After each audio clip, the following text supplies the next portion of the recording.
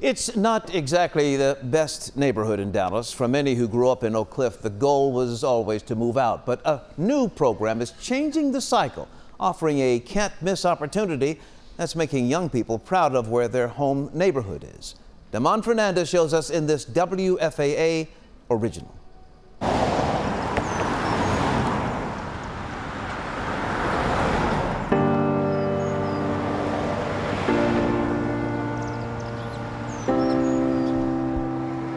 These, these are my roots.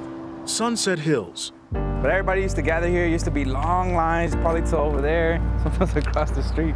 Gregory Cabello says there's a sense of community pride in this area of Oak Cliff. Though growing up here was tough. There was some dynamics around the neighborhood that you wanted to escape.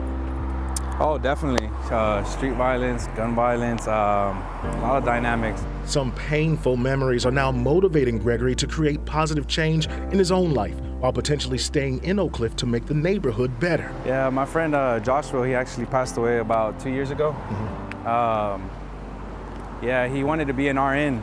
Um, fortunately, he wasn't able to reach that goal, but as a, as a friend, I felt like I felt the need to kind of go down that path, the medical field. Nephro is um, each week, kidney. Gregory is part of a small group of students working with patients and staff at Methodist Charlton. Sarby. They're part of an initiative called Oak Cliff Works. The program is making career training available to people who want it. It should take like five minutes. I think it is a game changer because well, it provides uh, people in the lower uh, lower middle class to be able to have an opportunity to join the program without having to pay anything, uh, worried about finances. They call it the Southern Sector Connector. it's teaming with Oak Cliff-based businesses to bring opportunities like this to people in their own neighborhood. Yes, and I've been taking care of people all my life. Erica Frierson is another student in the healthcare program. Miss Mary, we're going to go ahead and change your bed. Will that be okay? All right. I guess she it's okay.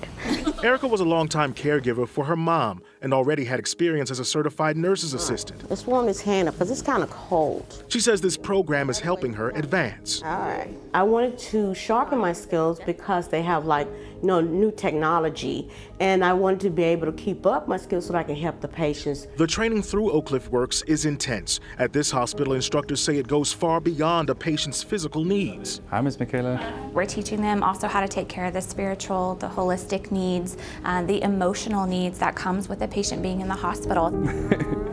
Good.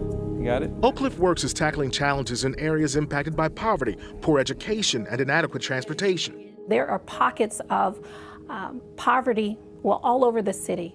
But in particularly in the southern sector, there are some areas in which individuals are not making more than $11,000 a year. Do you know how to put the volume up on the yeah. TV? Okay. Sounds good. Thank the you. program is designed to change the dynamics. Call us if you need us, okay? It positions people who want to stay in their community a chance to have a career they can be proud of. and me getting them to smile and feel good after I've done, that makes me feel good, confidence, and knowing that I know what I'm doing. I'm bringing my love to the table and my compassion. Just like Erica Frierson, Gregory says he also wants more for himself and his family. How I grew up here in Oak Cliff, um, we started we, we, came from nothing to be honest. Nothing in the refrigerator you know you kind of want to just break that chain uh, that paycheck to paycheck lifestyle and you want to become something in life. He's also doing something meaningful in his friend's memory. All right thank you so much mr johnson demond fernandez channel 8 news. Oak Cliff Works offers a variety of free career training resources. To learn more about their programs, just click on Demond's story on WFAA.com.